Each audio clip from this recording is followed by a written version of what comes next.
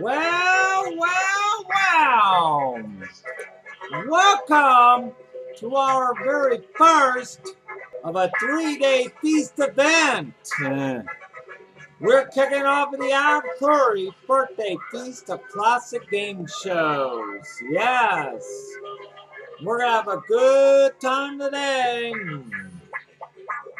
We wrap up summer, get into fall with a great fall galore stuff. Coming up, we're going to pull in.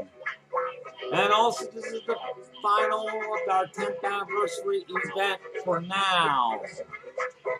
We go back to regular Fever Chat on the on the 20th. And then we'll have a World Series and Halloween shows coming up.